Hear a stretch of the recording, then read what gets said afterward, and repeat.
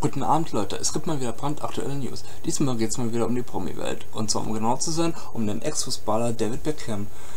Der freut sich nämlich mal wieder darüber Onkel zu werden. Und zwar hat seine Schwester Joanne auf Instagram gepostet, ich freue mich bereits auf den Kleinen.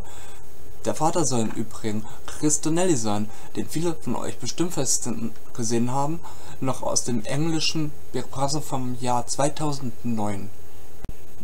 Na dann großes Daumendrück und äh, auf ein gutes Onkel sein, wenn es zum ersten Mal so ist. Ich wünsche euch jetzt nur noch einen schönen Abend.